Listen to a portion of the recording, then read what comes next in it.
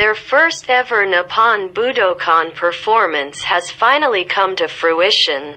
The Japan tour, including the performance at the same venue, which was organized in March 1993, 30 years ago, was due to the health reasons of Dave Mustaine, Vo, G, the ringleader of the band.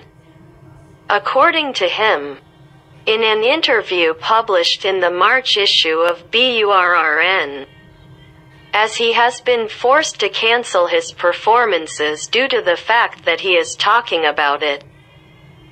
It is a long cherished desire for him to perform at this venue. He even went so far as to repeatedly say that the Budokan performance is one of the things the band must do before it ends.